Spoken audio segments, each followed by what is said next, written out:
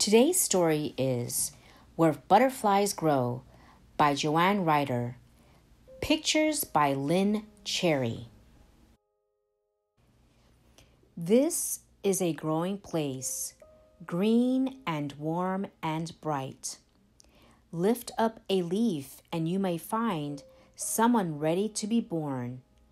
Lift up a leaf and imagine. Imagine you are someone small, hidden in a tiny egg, growing bigger, growing darker, till one hot morning you burst your shell and creep into brightness. Imagine you are a creeper, thin and dark, living on a long, lacy leaf. When the wind tickles the leaf, you and your world shake. But you have feet, two rows of creeper feet that hold on tight and keep you safe. Like a tiny acrobat, you creep, balancing and dangling high above the earth below. As you move, your soft, long body ripples, flowing slowly along green stems. You climb up the stems to eat the leaves. As you grow, you climb higher and higher where flowers spread like umbrellas. You nibble and eat the tiny white flowers. You eat and eat till your skin feels tight. Underneath, you have a new, bigger skin to grow into. You swallow air, puffing up and up till your tight skin splits.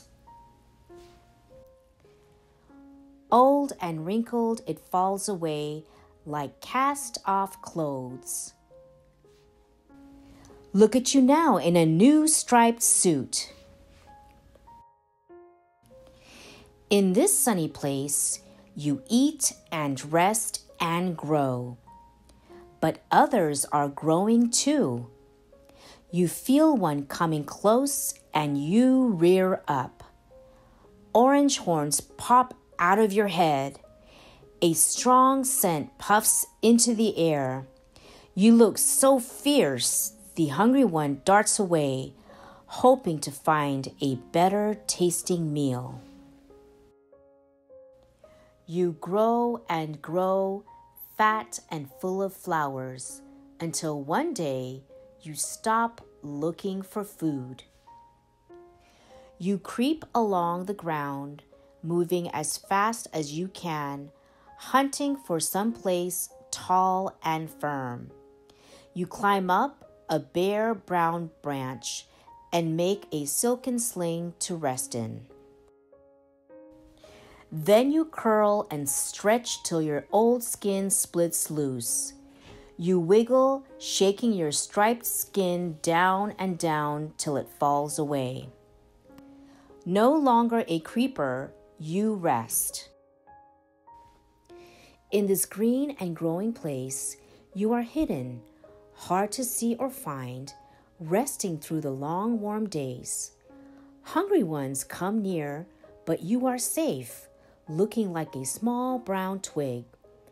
Hidden inside, you are changing, growing new long legs, growing new wide wings, covered with tiny scales of color.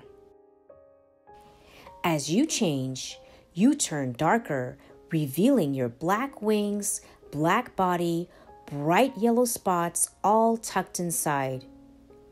Until one morning, you are ready to burst your twig like shell. You crawl out, wet, crumpled, new. You dangle high on long, long legs and hang on tight. Your four wings slowly unfold, growing larger, growing brighter, full of bold colors.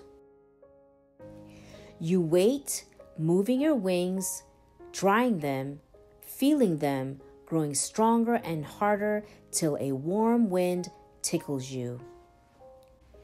Spreading your wings wide, you let go and fly higher and higher. You drift above the flowers, light and fragile like them. You touch nothing but sky flying far above the ground. Then you fly low from bright flower to bright flower, landing gently on the soft petals. Tasting sweetness with your feet, you sip the sweet nectar through your long curled tongue.